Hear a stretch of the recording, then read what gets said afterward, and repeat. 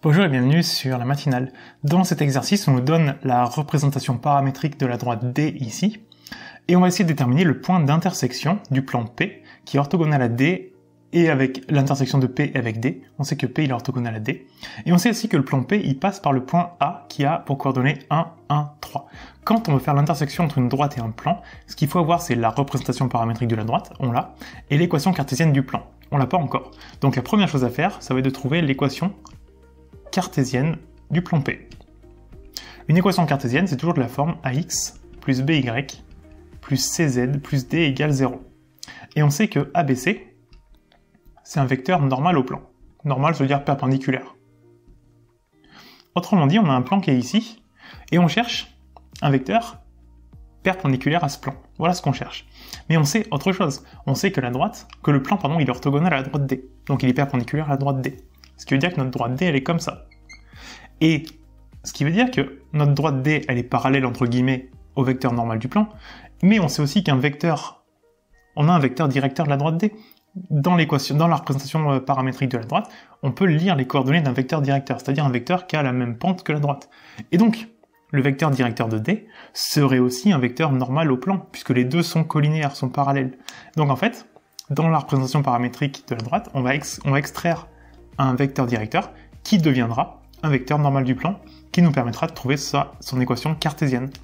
Et donc là on peut dire que un vecteur directeur de D, ça va être, on va l'appeler U, en fait c'est les, les, coefficients, c'est les quantités de T. Donc on en a moins 3, en dessous il y en a 2, et après il y en a 1.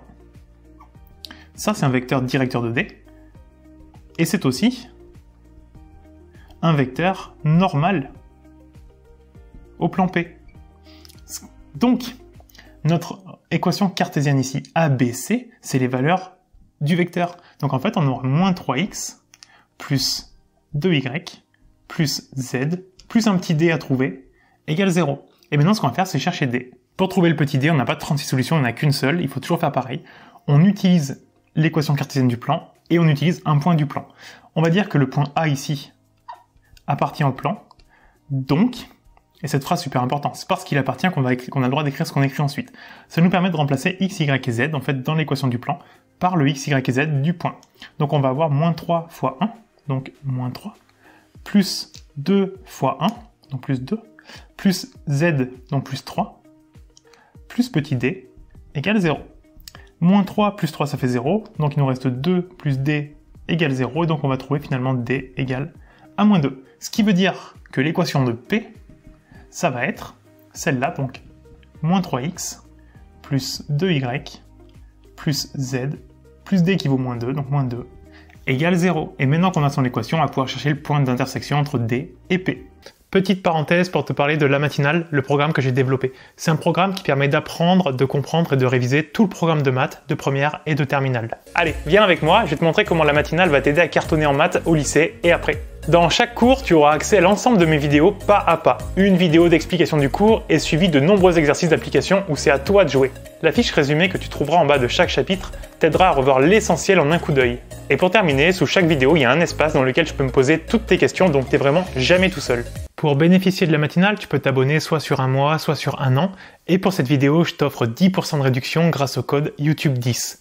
Voilà, je te souhaite d'en profiter et nous, on retourne à la vidéo. Quand on veut le point d'intersection comme ça entre un plan et une droite, ce qu'on va prendre, c'est l'équation du plan et on va remplacer x, y et z par le x, y et z de la droite.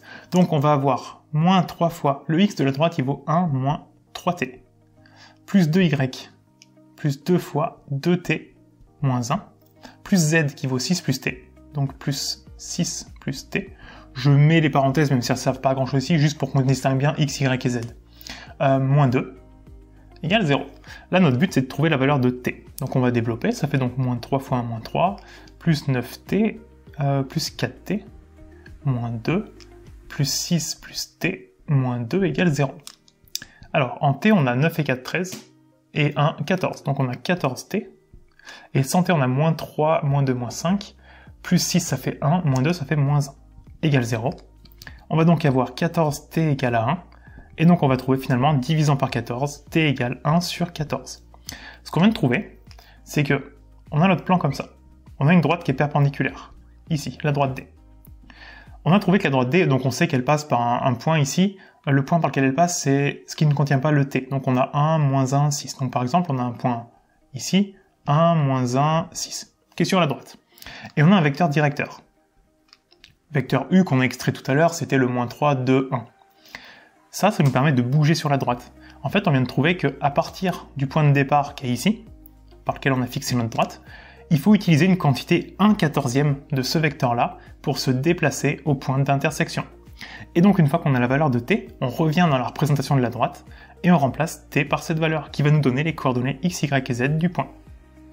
Alors x ça fera 1 moins 3t donc 1 moins 3 fois 1 sur 14 donc 3 sur 14. y ça fait 2 fois 1 sur 14 donc 2 sur 14 moins 1. Et z c'est 6 plus 1 sur 14. On va mettre tout le monde sur 14 1, si on le met sur 14, il devient 14 sur 14. 14 moins 3, ça fait 11 sur 14. L'autre en dessous, on va mettre 1 sur 14, donc il devient 14 sur 14. 2 moins 14, ça fait moins 12, donc on a moins 12 sur 14.